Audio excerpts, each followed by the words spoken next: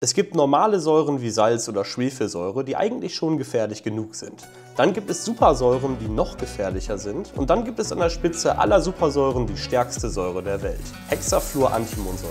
Mit einer Säurestärke 100 Billiarden mal größer als die von Schwefelsäure. Zudem auch eine der giftigsten Säuren überhaupt. Nicht ohne Grund stand für diesen Dreh ein Notarztwagen vor meinem Labor. Auf YouTube ist erst ein Video zu dieser Substanz online und heute werden wir gemeinsam Geschichte schreiben, indem ich das zweite Video überhaupt bzw. das erste deutschsprachige Video zur Hexafluorantimonsäure hochlade.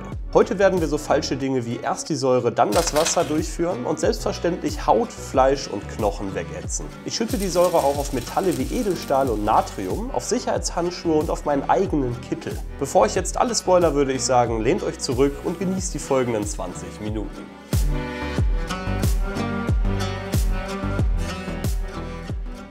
Die erste interessante Frage ist die, wie mir die stärkste Säure der Welt eigentlich geliefert wurde. Und die Antwort ist ziemlich einfach in einem Gefahrgutkarton, auf dem zwei Gefahrenpiktogramme kleben. Diese Piktogramme entsprechen den Gefahren der stärksten Säure der Welt. Sie ist nämlich ätzend bzw. korrosiv oder auch augenschädigend und toxisch.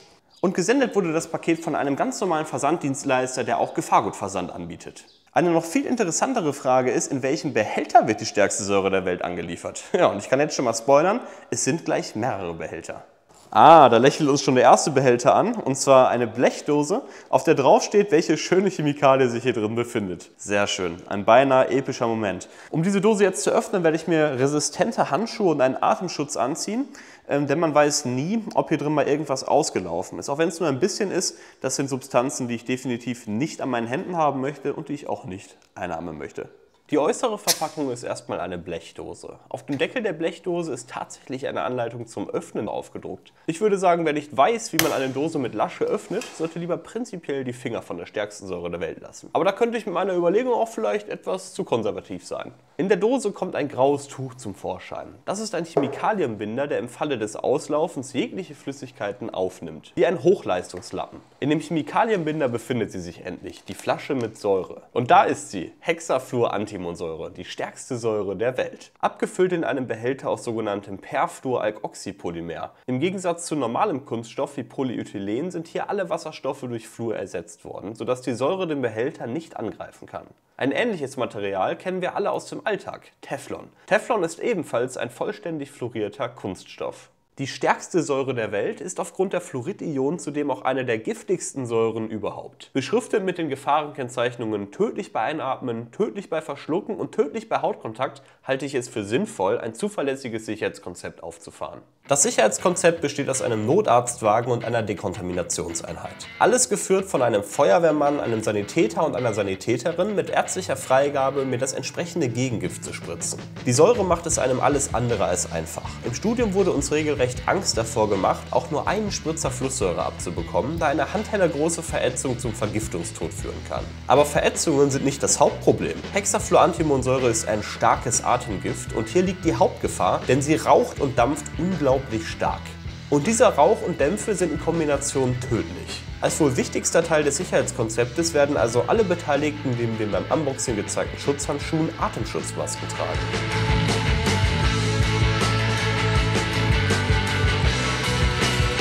Die beiden Sanitäter Marie und Cedric tragen permanent Vollmasken von Dräger, einem deutschen Hersteller für Sicherheitsequipment mit entsprechendem Gas- und Partikelfilter. Was solche Filter bei einem Dreh dieser Art alles aushalten müssen, werde ich später genauer beschreiben.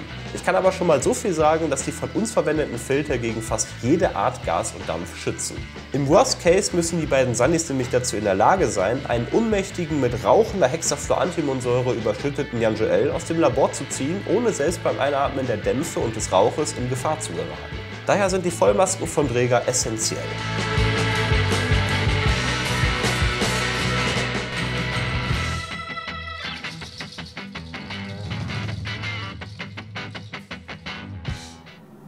Gab einen Schlüsselmoment im Video, in dem ich bemerkt habe, wie aggressiv die Säure mit meinem Kittel reagiert. Erst ab da habe ich auf einen sogenannten Form 2 Chemikalienschutzanzug gewechselt. Wundert euch also bitte nicht, weshalb ich in den ersten 20 Minuten des Drehs noch einen Kittel getragen habe. Eine wichtige Info vorweg noch zum Thema Atemschutz. Ich war im Gesicht nicht rasiert, daher ist mit einer erheblichen Beeinträchtigung der Schutzwirkung der Atemschutzmaske zu rechnen. Dennoch habe ich während des Drehs keinen Geruch wahrgenommen, der für das Eindringen der Gase und Dämpfe in meine Atemschutzmaske gesprochen hätte. Ich muss nochmal betonen, Eine Rasur wird aber dringend empfohlen. Bisher ist nur zur Hälfte klar, warum man jetzt ein so großes Sicherheitskonzept mit Rettungskräften und vollwertigem Atemschutz braucht. Um das zu zeigen, starten wir jetzt direkt mit dem ersten Experiment, Hexafluorantimonsäure vs. Hähnchenkeule.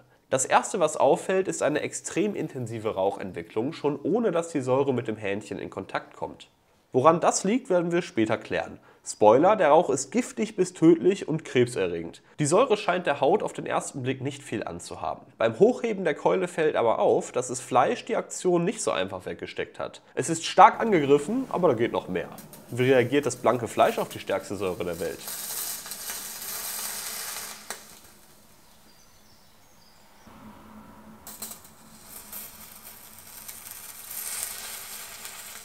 Ich würde sagen, das war eindrucksvoll. Das Fleisch wird sofort aufgelöst, indem es sich in Kohle verwandelt. Und mit diesem Anblick im Hinterkopf müssen wir uns um die passenden Schutzhandschuhe kümmern. Zur Verfügung stehen Einweg-Nitrilhandschuhe, dicke Mehrweg-Nitrilhandschuhe, Einweg-Latex-Handschuhe und Mehrweg-Handschuhe aus einem Kunststoff namens Viton, der dem Aufbewahrungsbehälter der Säure ähnelt. Zusätzlich noch ein Stück Baumwolle, das ich aus meinem Kittel ausgeschnitten habe. Wir starten mit dem Einweg-Nitrilhandschuh. Der Handschuh verfärbt sich vom Blau zu grünlich. Nach 4 Minuten Einwirkzeit ist das Nitril so beschädigt, dass ich es mit zwei Glasstäben auseinanderziehen kann. Der Handschuh ist damit nicht geeignet, um vor Verätzungen zu schützen. In diesem Video werden wir noch oft sehen, dass sich Dinge verfärben, sobald die Säure damit in Berührung kommt. Vorzugsweise werden die Sachen schwarz, weil dann Kohle entsteht. Hexafluorantimonsäure oxidiert den Kohlenstoff, der in organischen Verbindungen wie Kunststoffen, Baumwolle oder Fleisch befindet, zu elementarem Kohlenstoff, der dann als schwarze Kohle sichtbar wird. Als nächstes ist der Latex-Einweghandschuh dran. Auch dieser Handschuh verfärbt sich. Er wird von gelb zu orange. Nach zwei Minuten Einwirkzeit ist der Handschuh aber ansonsten nicht weiter beschädigt. Ich kann ihn nicht auseinanderreißen. Hier muss ich aber ganz klar sagen, dass der Vergleich unfair ist, da der Latexhandschuh der Säure nur halb so lange ausgesetzt war wie der Nitrilhandschuh vorher. Nebenbei haben wir einen weiteren Kunststoff getestet, der offensichtlich nicht gegen die Säure standhält. Meine graue Reaktionsunterlage. Die Unterlage besteht aus HPVC und färbt sich bei Berührung mit der Säure schwarz. Das Schwarze ist wie vorher bei dem Hähnchenfleisch auch Kohle. Durch die Säure wird das PVC also verkohlt. Der dritte Handschuh ist auch ein Handschuh aus Nitril, also dem gleichen Material wie Handschuh Nummer 1, nur dass dieser hier dicker und als Mehrwegprodukt zugelassen ist. Auch hier verfärbt sich das Material von türkis zu grün-gelb. Nach zwei Minuten Einwirkzeit schaffe ich es nicht, den Handschuh mit zwei Glasstäben auseinanderzuziehen. Aufgrund des Tests mit dem Einwegnitril halte ich diesen Handschuh hier dennoch absolut nicht für brauchbare Schutzausrüstung für den Umgang mit der stärksten Säure der Welt. Der letzte Handschuh in dem Vergleich ist ein Hochleistungsprodukt aus Viton. Bei Berührung mit der Säure bildet sich eine braune Schicht auf der schwarzen Oberfläche. Nach drei Minuten Kontaminationsdauer kann ich auch das Viton nicht zerreißen. Natürlich bin ich nicht unvorbereitet in diesen Test reingegangen. Handschuhe aus Viton sind extrem oxidationsstabil und undurchlässig für Flusssäurederivate. Daher hatte ich diese Handschuhe während der Tests schon an und werde sie auch bis zum Ende der Experimente tragen. Im Gegensatz dazu hält Baumwolle absolut nicht stand. Ein normaler Kittel verkohlt bei Kontamination mit Hexafluorantimonsäure sofort und die Reaktion ist wirklich sehr heftig. Es zischt und raucht. Das nächste Stück Fleisch ist Schweinefleisch mit Haut.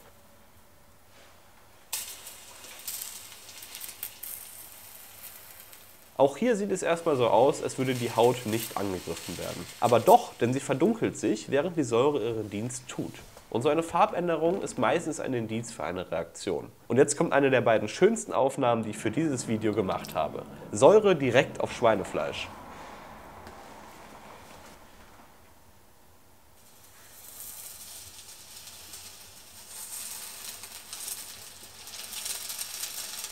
Die Hexafluorantimonsäure reagiert in Millisekundenschnelle mit dem Fleisch und hinterlässt eine Schneise der Verwüstung. Unter starker Rauchentwicklung verwandelt sich das rote Fleisch in eine schwarze Kohleader.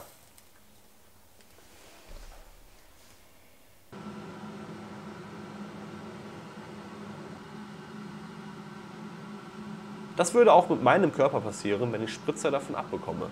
Daher sieht mein Outfit of the Day so aus. Ein Ganzkörper-Chemikalienanzug als Einwegprodukt, sogenannte Form 2 Ausrüstung, das stärkste wäre Form 3, kombiniert mit den säureresistenten Vitoject Handschuhen und einer Atemschutzmaske.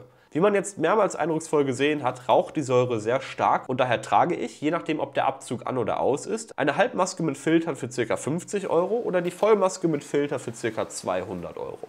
Die Atemschutzmasken haben die Schutzklassen A, B, E, K, Hg, P3. Bedeutet, sie schützen gegen organische Gase und Dämpfe wie Lacken oder Klebern, anorganische Gase und Dämpfe wie Chlor, saure Gase und Dämpfe wie Schwefelsäure, Flusssäure und Chlorwasserstoff, also sehr wichtig heute für dieses Experiment, dann noch gegen Ammoniak, Quecksilber und feinste Partikel.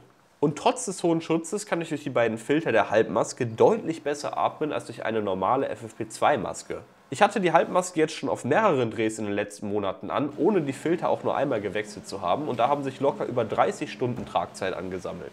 Wer also mit Lacken, Terpentin, Beizmitteln, Säuren, übelriechenden Gasen oder irgendwelchen Putzmitteln arbeitet, ist mit dieser Art von Maske bestens bedient. Und bei staubigen Angelegenheiten wie Schleifen, Bohren, Schneiden oder allgemein Baustaub gibt es sowieso keinen besseren Schutz, da hier ein Partikelfilter der höchsten Schutzklasse P3 bzw. FFP3 integriert ist. Diese Schutzklasse schützt übrigens auch vor Bakterien und Viren. Die Halbmaske plus Filter, die ich hier benutze, gibt es als sogenanntes Chemiearbeiter-Set zu kaufen.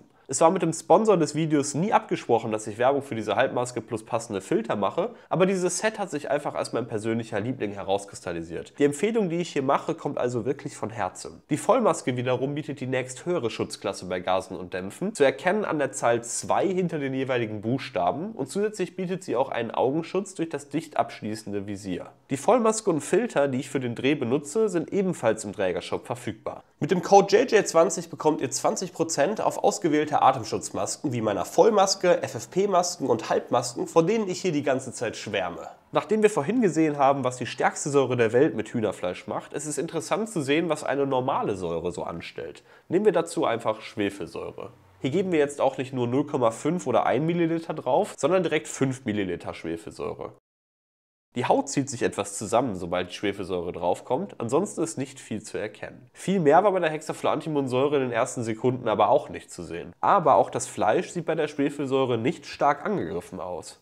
Das hier ist kein Beweis dafür, dass Schwefelsäure nicht gefährlich ist, ganz im Gegenteil. Auch wenn sich hier keine Kohleader bildet, heißt es nicht, dass das Hühnerfleisch keinen Schaden genommen hat. Personen, bei denen Schwefelsäure auf die Haut oder auf das Fleisch gelangt, haben immense Schmerzen. Und das zeigt eigentlich, wie stark die Schmerzen sein müssen, wenn Hexafluorantimonsäure auf die Haut gelangt oder auf das Fleisch gelangt und dieses dann direkt in Kohle verwandelt. Das muss eigentlich unerträglich sein. Das nächste Testobjekt ist ein Hähnchenknochen.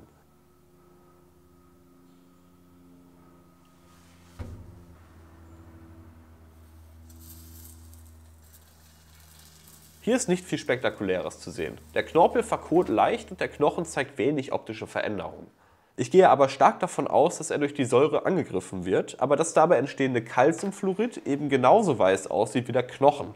Man kann das Reaktionsprodukt also farblich nicht vom Knochen unterscheiden, obwohl die Säure starken Einfluss auf den Knochen nimmt. In der Schule wird uns immer beigebracht, erst das Wasser, dann die Säure, sonst geschieht das Ungeheure. Wie könnte man diese Regel besser brechen als mit der stärksten Säure, die es gibt? Wir benutzen jetzt also erst die Säure und geben dann das Wasser drauf. Die Reaktion ist extrem stark.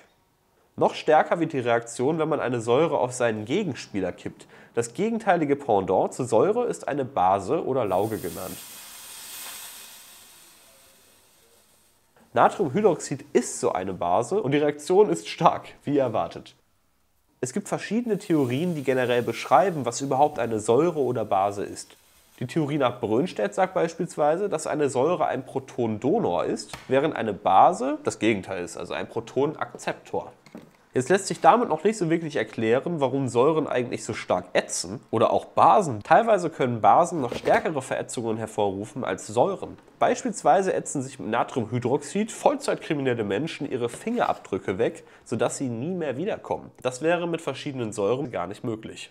Im Hochsommer 2024 werde ich einen eigenen Videokurs über die Grundlagen der Chemie launchen. Wer mehr darüber erfahren möchte, warum Säuren und Augen so aggressiv sind und alles um sich herum auflösen, ist mit dem Videokurs bestens bedient. Vor allem richtet sich der Kurs an dich, wenn du in der Schule, während der Ausbildung oder während des Studiums mit Chemie konfrontiert wirst und nicht mehr weißt, wo oben und wo unten ist. Euch fehlt quasi jegliches Grundverständnis oder habt das Gefühl, dass ich es euch besser erklären kann? Ja, dann freut euch auf den Hochsommer 2024. Ich werde euch alle chemischen Grundlagen in meinem meinem Stil erklären, sodass ihr easy durch eure Prüfungen und auch durch meine manchmal komplexen YouTube-Videos kommt. Sobald der Videokurs online ist, werde ich ihn unter dem Video verlinken. Das nächste Experiment wäre die pH-Wertmessung. Es gibt hier jetzt aber allerdings ein großes Problem und das zeige ich euch jetzt. Das pH-Papier wird von der Säure einfach zerstört. Der Rest des pH-Papiers, der nicht zerstört ist, ist aber rot und dieses Rot steht für pH 0. Ein pH-Papier kennt man wahrscheinlich noch aus der Schule. Es gibt pH-Werte von 0 bis 14. 0 ist dabei sehr sauer, 7 ist neutral und 14 ist basisch. Das bedeutet, wenn der pH-Wert hier bei 0 steht, ist es eine ziemlich saure Säure. Jetzt muss man allerdings sagen, dass bei einer solch ultra starken Säure, genannt Supersäure, der pH-Wert nicht wirklich gut anwendbar ist. Den pH-Wert kann man beispielsweise anwenden bei Zitronensäure, Vitamin C oder auch verdünnter Salzsäure. Aber bei einer Supersäure wie Hexafluorantimonsäure, also das funktioniert eigentlich gar nicht. Wenn man jetzt die reale Säurestärke von Supersäuren oder auch konzentrierter Schwefelsäure und so weiter bestimmt, werde ich auch in dem Videokurs erklären. Die nächsten Reaktionen machen wir jetzt recht schnell hintereinander weg. V2A Edelstahl und Hexafluorantimonsäure.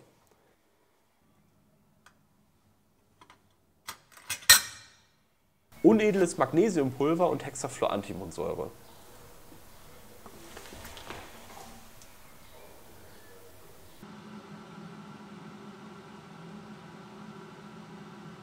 Kupferdraht und Hexafluorantimonsäure. Wie auch beim Edelstahl scheint die Säure dem Metall auf kurze Zeit nichts anzuhaben. Es ist sehr spannend zu sehen, was die Säure mit Gold machen würde und das werde ich dem nächsten Video zeigen. Sehr reaktives Natrium und Hexafluorantimonsäure. Das Natrium bildet eine weiß-gelb-grüne Schicht. Eine kurze Anekdote, nachdem ich mit diesen Materialien hier gearbeitet habe, entsorge ich sie immer in einer Calciumchlorid-Lösung. Calciumchlorid neutralisiert die Säure bzw. auch die giftigen Fluoridionen und damit ist alles gut. Bei der Entsorgung des Natriums allerdings gibt es da Probleme, denn Natrium explodiert in Kontakt mit Wasser. Bei der Entsorgung des Natriums ist es mir dann auch tatsächlich explodiert. Aber ich habe meinen Rettungskräften leider nicht Bescheid gesagt. Als ich aus dem Labor kam, guckte ich in alarmierte Gesichter. Es ist aber zum Glück ja nichts passiert, weil ich darauf gefasst war.